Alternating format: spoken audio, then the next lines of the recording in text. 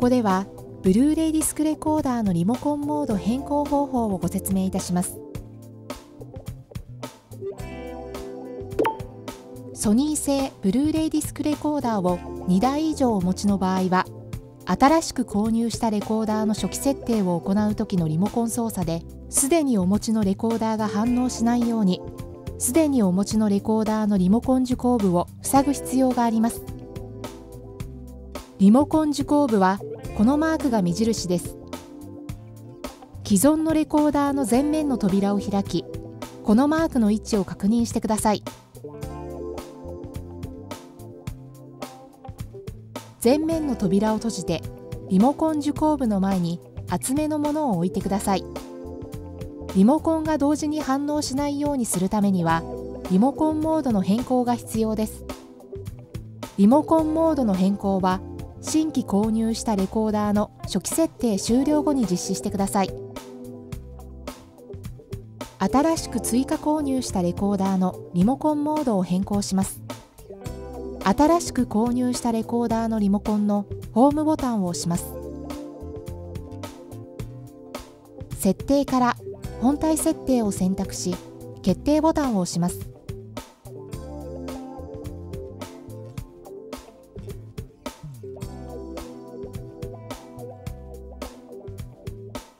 リモコンモードを選択し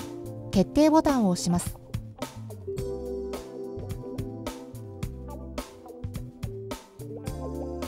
ここではすでにお持ちのレコーダーとリモコンモードが重ならないように例として BD4 を選択し決定ボタンを押します。ソニー製ブルーレイディスクプレイヤーをお持ちの場合は BD4 以外のリモコンモードに設定してください。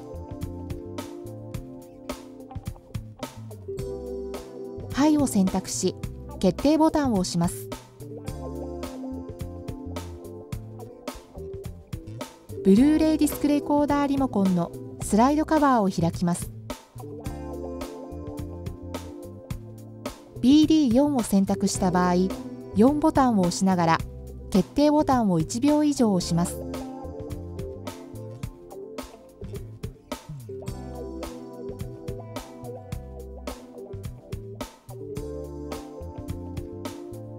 4と決定ボタンから指を離し再度決定ボタンを押します。